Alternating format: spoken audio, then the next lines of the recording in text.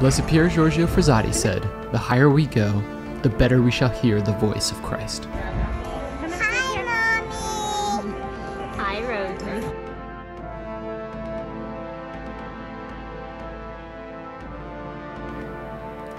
Rock climbing requires self awareness and discipline, patience and perseverance, courage and boldness, trust and humility.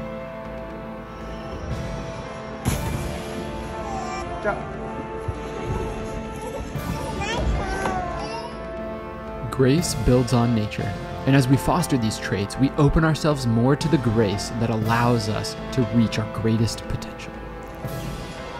As St. John Paul II said, be amazed at the heights to which you are called.